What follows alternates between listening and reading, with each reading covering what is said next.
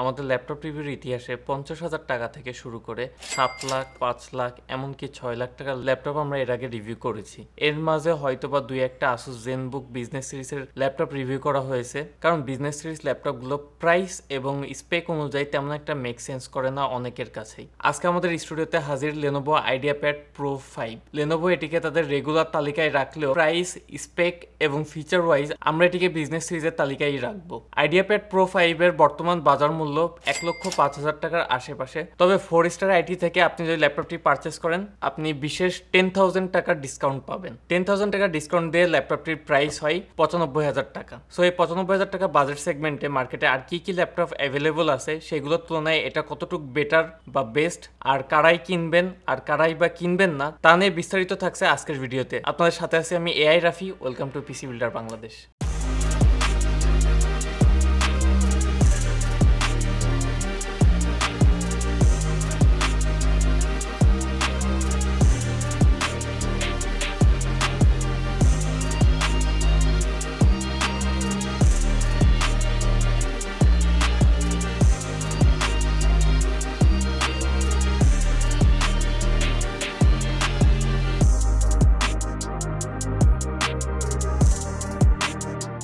প্রথমেই শুরু করা যাক পঁচানব্বই হাজার টাকা বাজেট সেগমেন্টে এই ল্যাপটপটির আর কি কি কম্পিটিটর মার্কেটে রয়েছে। যদিও আমরা এই ল্যাপটপটিকে বিজনেস ক্যাটাগরিতে রেখেছি, তারপরও আমরা দেখব পঁচানব্বই হাজার টাকা বাজেটের আশেপাশে আর কি কি গেমিং ল্যাপটপ রয়েছে মার্কেটে আজকের কম্পিটিটর অ্যানালাইসিস এর সর্বপ্রথমে রয়েছে HP ProBook four forty G ten Core i seven thirteen gen fourteen inch F FHD laptop দাম এক লক্ষ আঠারো হাজার টাকা। Dell Vostro five six two zero Core i five twelve gen sixteen inch F FHD plus laptop দাম এক লক্ষ তেইশ হাজার টাকা। Asus ExpertBook B five B five four zero two CE A K C zero two nine one N Core i five eleven gen fourteen inch laptop দাম এক লক্ষ তেরো হাজার টাকা।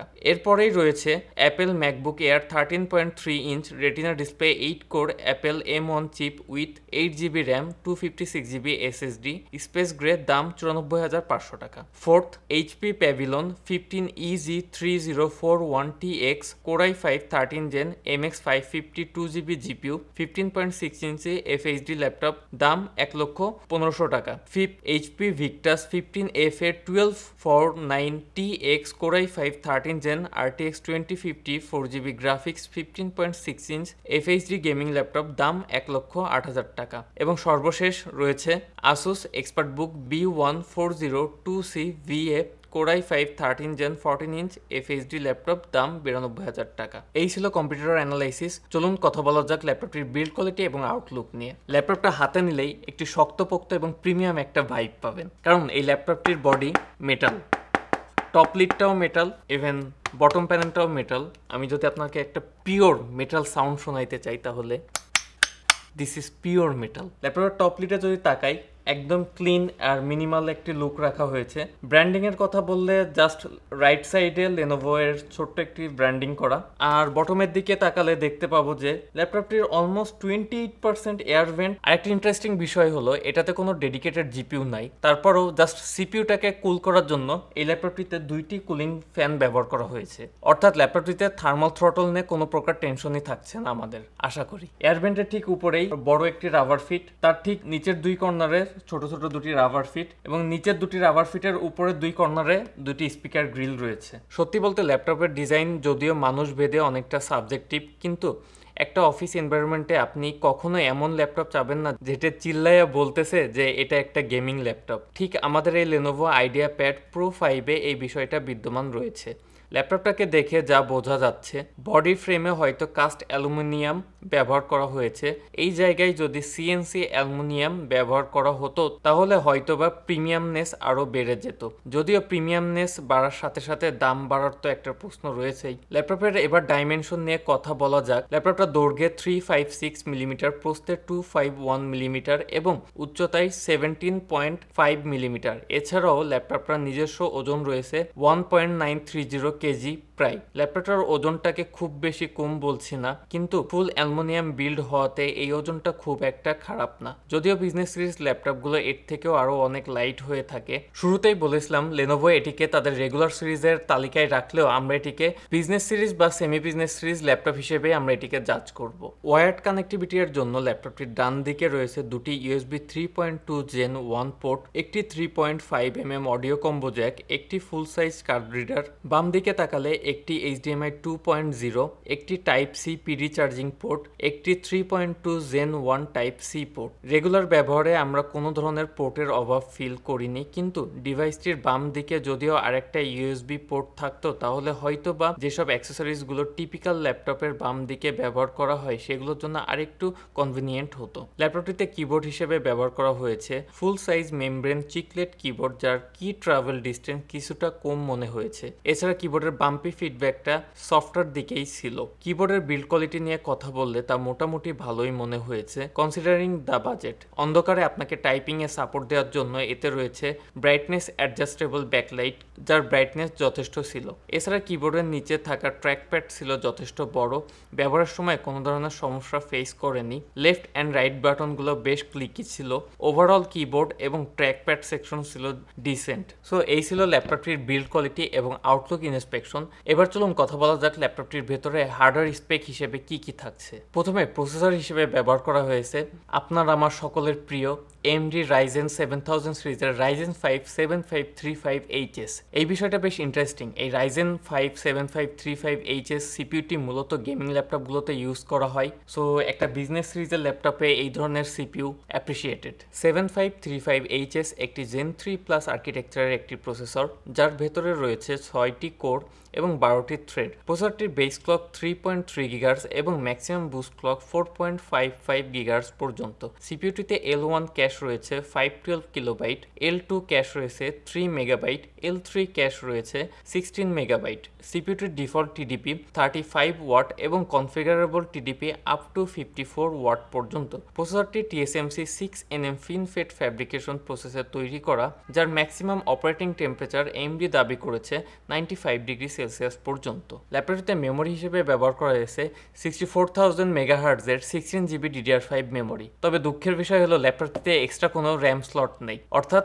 এই সিক্সটিন জিবি র্যাম এই ল্যাপটপে সোল্ড আউট করা। সো আপনি চাইলেও ল্যাপটপটি র্যাম আপগ্রেড করতে পারবেন না। আমার মনে হয় না যে বিজনেস সিরিজ ল্যাপটপে সিক্সটিন জিবি এর বেশি মেমোরি কারোর প্রয়োজন পড়বে। যদি না কেউ প্রো ক্রোম ইউজার হয়ে থাকেন। এরপরে বুট ড্রাইভ বা সিস্টেম ড্রাইভ হিসেবে রয়েছে Samsung P M nine B one five twelve GB gen four NVMe SSD এটি মূলত স্যামসাং এর এন্ট্রি লেভেলের জেন ফোর ওইএম এসএসডি যার রিড রেট স্পিড আপনার স্ক্রিনে দেখতে পাচ্ছেন। র্যামের মতো স্টোরেজ সেকশনেও থাকছে না কোনো প্রকার এক্সট্রা স্লট সো আপনার যদি এক্সট্রা স্টোরেজের প্রয়োজন পড়ে কখনো, তাহলে আপনার কাছে দুটি অপশন আছে। প্রথমত, এই এসএসডিটাকে সফট করে ওয়ান টিবি বা টু টিবি এর একটি জেন ফোর এনভিএমই এসএসডি লাগিয়ে না অথবা এক্সটার্নাল এসএসডি বা এইচডিডি ব্যবহার করা। ল্যাপটপটিকে পাওয়ার ব্যাকআপ দেওয়ার জন্য এর ভেতরে রয়েছে সেভেন্টি সিক্স ওয়াট আওয়ারের লিথিয়াম আয়ন ব্যাটারি যেটা দিয়ে আমরা রেগুলার ইউসেজ অর্থাৎ ব্রাউজিং মিডিয়া কনজিউমিং টুকটাক ফটোশপের কাজ ইত্যাদি সবকিছু মিলিয়ে এইচ সিরিজের সিপিইউ থাকা সত্ত্বেও ল্যাপটপটি থেকে আমরা সাড়ে চার ঘণ্টার ব্যাকআপ পেয়েছি,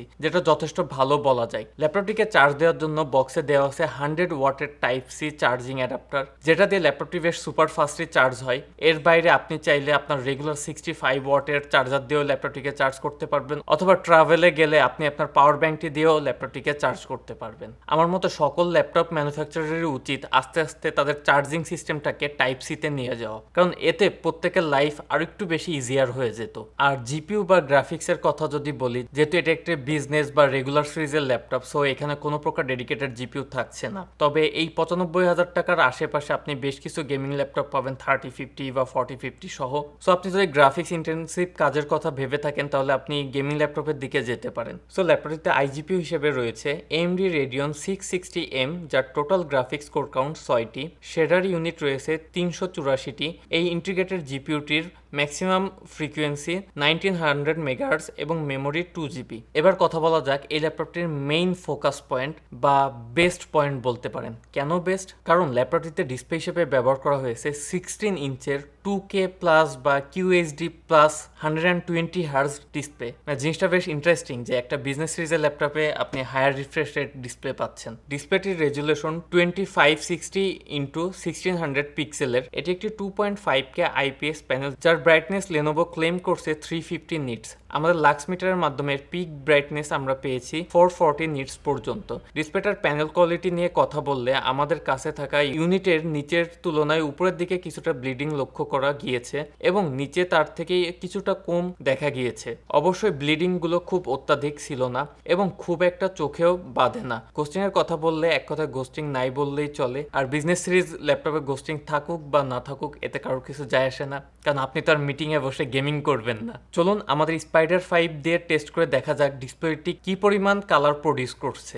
স্পাইডার ফাইভের রেজাল্ট অনুযায়ী প্যানেলটির S R GB ninety percent Adobe R GB seventy percent DCIP three seventy percent NTSC sixty six percent এবং ডেল্টা ই পাওয়া গিয়েছে এভারেজে one point six one so result দেখেই বুঝতে পারছেন যে ডিসপ্লেটি একদম সেরা না হলেও এ বাজেটে থাকা অন্যান্য যেসব আইপিএস প্যানেলের ল্যাপটপ আছে, তার থেকে ফার ফার বেটার সো বলা যায় যে অফিস এনভায়রনমেন্টে কেউ আপনার ল্যাপটপের ডিসপ্লে দেখার পরে ওয়াও একটা রিয়াকশন দিতেই পারে। যদিও এটি একটি সেমি বিজনেস বা রেগুলার সিরিজের ল্যাপটপ এটাতে তেমন একটা পারফরমেন্স টেস্টের কিছু নাই। কিন্তু আমরা পারফরমেন্স টেস্টে দেখব যে মানে আন্ডার স্ট্রেসে হান্ড্রেড পার্সেন্ট লোডে সিপিউটি কেমন পারফর্ম করে, আর এই ল্যাপটপটির যে কুলিং সলিউশন সেটা সিপিউটিকে কি পরিমাণ ঠান্ডা রাখতে পারছে? চলুন তা নিয়ে এখন বিস্তারিত গবেষণা করা যাক। প্রথমেই শুরু করা যাক Cinebench R twenty three benchmark দিয়ে। যেহেতু আজকে গেমিং পারফরমেন্স টেস্ট সেগমেন্ট নাই, সেহেতু আমরা আমাদের টিপিক্যাল স্ট্রেস টেস্টগুলো দিয়ে আজকের পারফরমেন্স টেস্টের অবসান ঘটাবো পারফরমেন্স টেস্টের প্রথমে রয়েছে Cinebench R twenty three as always প্রথমে সিঙ্গেল করে দশ মিনিটের স্ট্রেস এবং এইভাবে মাল্টি করে দশ মিনিটের স্ট্রেস টোটাল এই বিশ মিনিটের স্ট্রেস শেষে